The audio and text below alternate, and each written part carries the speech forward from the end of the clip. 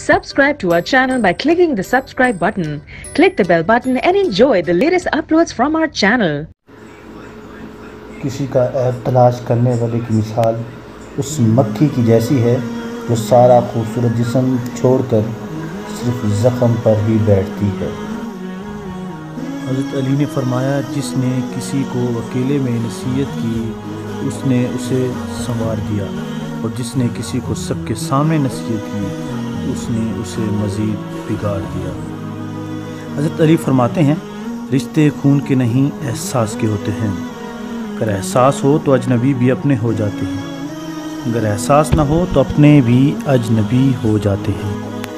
حضرت علی فرماتے ہیں، ایسے شخص کو کبھی مت گنوانا، جس کے دل میں تمہارے لیے محبت، فکر، عزت اور چاہت ہو۔ حضرت علی فرماتے ہیں، تین انسان تین چیزوں سے محروم رہیں گے۔ غصے والا صحیح فیصلے سے، جھوٹا عزت سے اور جلد باز کامیابی سے۔ اپنوں کو ہمیشہ اپنے ہونے کا احساس دلاؤ۔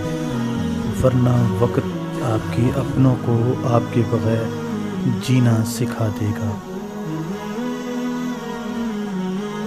اگر انسان کو تکبر کے بارے میں اللہ کی ناراضگی اور سزا کا علم ہو جائے، تو بندہ صرف فقیروں اور غریبوں سے ملے اور مٹی پر بیٹھا کرے۔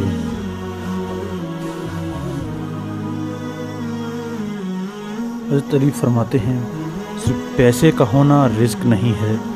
نیک اولاد اچھا اخلاق اور مخلص دوست بھی رزق میں شامل ہے